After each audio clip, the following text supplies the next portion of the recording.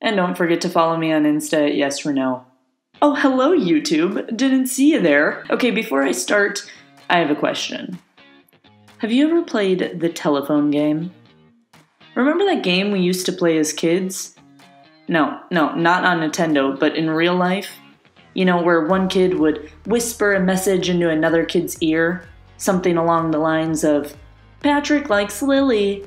And then that kid would whisper it down the line to another kid, who would whisper it on to the next one, until finally the kid at the end of the line would shout, Patrick licked my feet. You know, something that vaguely resembled the first message, but was very, very different. Yeah, so that game taught me everything about the internet. And not just that licking feet is also a thing online. because it is. no, it kind of taught me what Instagram is teaching the next generation.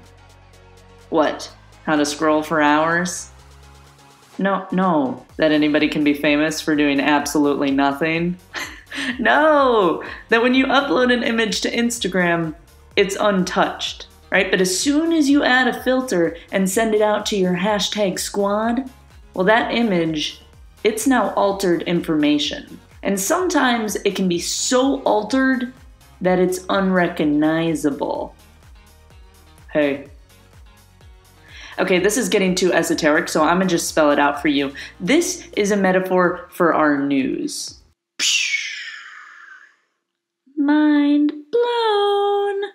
With news, any information you're not getting from the source is filtered information right? It's being filtered through the eyes, minds, and big mouths of everybody on the TV and interwebs. Big mouths, big mouths. Blah. And sometimes those big mouths are just as inaccurate as little kids in the telephone game. Now, sometimes filtered information is good right? Secondary sources help make lots of tough information easier to digest. But sometimes, even with honest intentions, people A. don't properly understand the source they're citing, B. use biased language that makes conjecture sound like truth, C. only give one side of the whole story, or D. etc.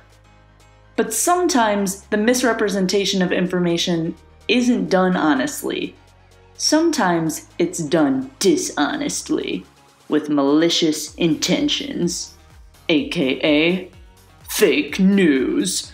Dun dun dun! Alright, so when you think fake news, think people twisting headlines to influence others because they know most people won't read their article, or think people twisting their content to influence others because they have ulterior motives and they know most people won't fact check them. What ulterior motives could people have for spreading fake news, you ask? Oh, I don't know. N- n- nothing comes to mind.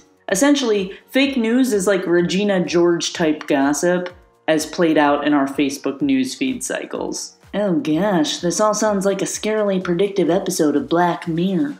Mirror, mirror, Facebook wall, how do we avoid this all? Well, I hate to go all moral the story on you, but you can reduce misinterpretation by fact checking yourself before you fact wreck yourself.